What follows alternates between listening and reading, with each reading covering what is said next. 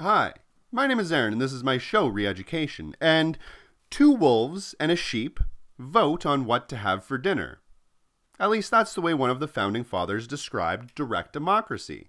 Basically, that mob would rule. The most powerful group, the largest group, would be the one that makes the most decisions and would inevitably eat or destroy the minority. That's why, when the Constitution was originally written, they thought about making the United States into a republican form of government and not a direct democracy. Now, the republican form of government basically means that you do not vote on specific issues, because that would be mob rule. You vote on a person that will vote on specific issues for you. Now, that seems like it might make a lot of sense. It seems like that might cover the minority aspect of it, and it might make it a little bit easier for the people that are underrepresented to have a certain amount of representation. At least on the surface, until you look at it for a little bit more than half a second. I mean, when you have mob rule, they're all voting on one specific topic. And then that topic gets through, and the minority likely won't end up having a say. But isn't that exactly what happens with a politician, with an elected representative?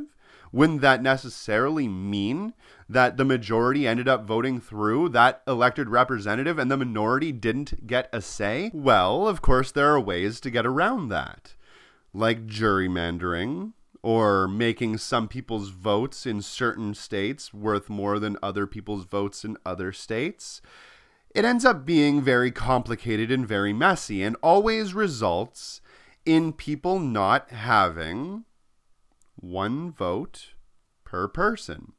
It ends up being worse than mob rule. It ends up being complete chaos.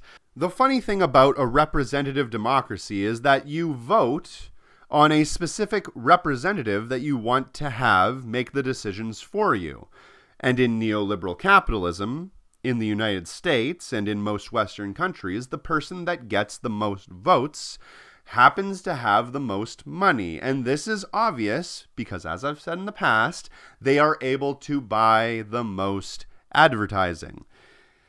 Advertising is basically speech, and if you have more money, you get more speech. That's how this system works. It is specifically rigged in favor of those who have the capital to be able to buy the resources they need. That's why you see complete asshats like the CEO for Starbucks running for president, even though you've never heard of this fucking guy ever before in your entire life, and now all of a sudden he's all over the media. He bought his way into the media. He just had to slide a couple of dollars somebody's way, and he ended up becoming a presidential candidate where somebody else that really wants to be a candidate, like Tulsi Gabbard, doesn't even get a fucking spot at the debate table because she doesn't have that money that allows her to be able to buy her advertising. When you have a system that votes on people and not on policy, then all that matters is the people, and it becomes a game. Now, like I've said in the past, we can disagree on specifics all day long, but there are a ton of policies that you and I, even if you are a conservative and I am a liberal, would totally agree on, and yet they aren't passed because they aren't in the benefit of the moneyed interest, because they don't benefit somehow the people at the top, the ones with all the cash, the ones with all the power. Here's an interesting thought. When you have a minority group whose interests benefit the rest of society,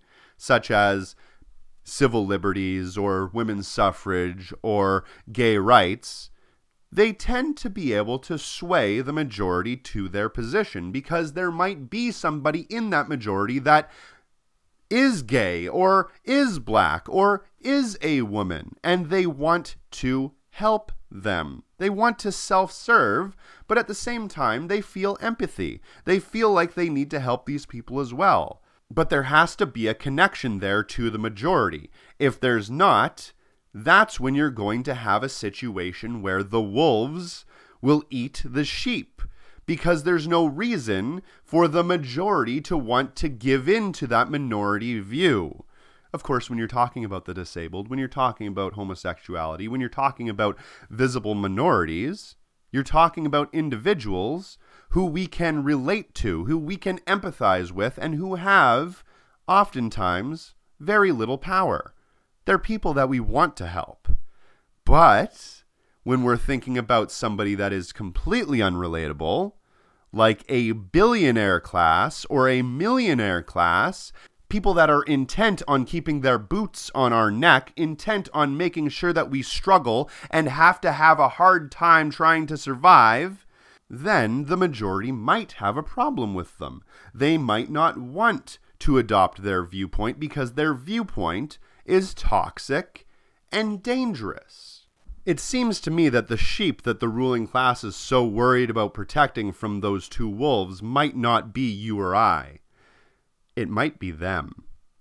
At least that's the way I look at it. My name is Aaron. This is my show, Reeducation. Thanks for watching.